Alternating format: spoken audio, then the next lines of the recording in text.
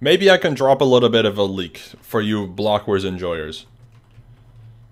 There's gonna be Halloween team names, and they are gonna be different. They'll be they'll be fine. They'll be fine.